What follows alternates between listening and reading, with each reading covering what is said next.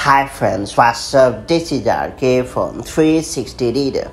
It's time to learn how to batch edit photos in iOS 16 on iPhone and iPad.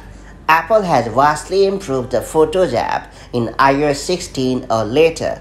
One of the coolest features of the Photos app is the ability to let you batch edit photos thanks to the all new copy and paste edit buttons. Let me show you how it's done the right way. Before getting started, make sure you have subscribed our YouTube channel and hit the bell icon so that you won't miss any update from 360 Reader. First and foremost, open the Photos app on your iPhone or iPad running iOS 16 or iPadOS 16 or later. Then pick a photo and then tap on the edit button located in the top right corner of the screen. Now make your edits and choose done in the bottom right corner of the screen. Then tap the three dot icon in the top right corner and choose copy edits in the menu. Now you have to choose the back arrow to see all of your photos and then hit the select button in the top right corner and choose all of the photos you want to paste your edit.